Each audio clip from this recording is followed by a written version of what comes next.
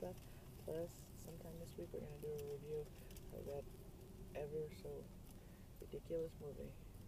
was out on Saturday. I had it taped, so we'll be watching it. Dad and I are. We'll be watching it. We'll let you know. But have a great day.